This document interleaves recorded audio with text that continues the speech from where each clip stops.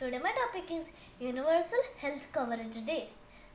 Health is an important factor that should be taken care of. Everyone has the right to get quality health services when they need them without facing financial problems. That is why on 12th December, Universal Health Coverage Day is celebrated.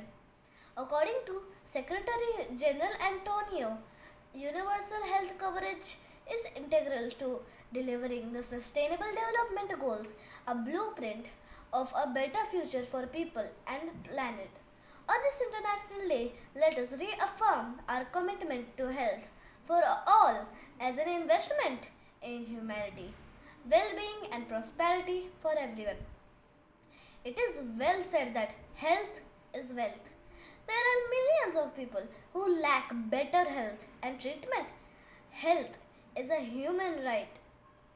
This day reminds us of the quality health care that people need and deserve without facing financial hardship.